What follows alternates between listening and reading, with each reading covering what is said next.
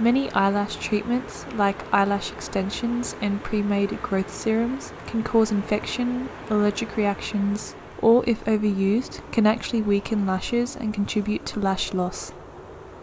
We have a lot of options when it comes to eyelash growth or the appearance of long lashes, such as expensive eyelash extensions, which often require a lot of maintenance, fiddly fake lashes, tricky eyelash curlers, and eyelash growth serums with chemical ingredients. But instead of these conventional options, which can actually weaken lashes, I prefer to make this natural homemade eyelash serum which helps to promote healthy, full lashes without the chemicals.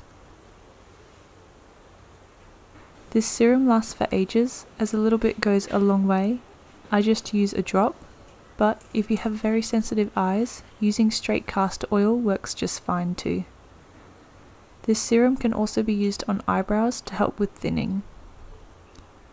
To make this natural lash growth serum, add half a tablespoon of castor oil, 1 teaspoon of vitamin E oil, half a tablespoon of fractionated coconut oil, 3 drops of lavender essential oil, 3 drops of rosemary essential oil, and 3 drops of cedarwood essential oil to a clean dropper bottle or an old mascara tube.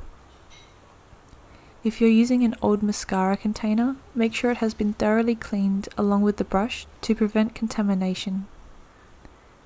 Close the bottle and shake the mixture gently to combine the ingredients, and use the serum nightly by brushing the solution onto the lashes.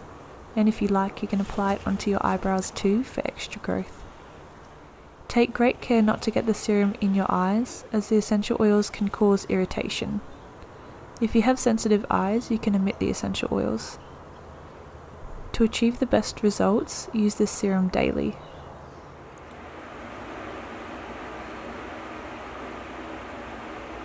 And that's how you make this all natural eyelash growth serum at home.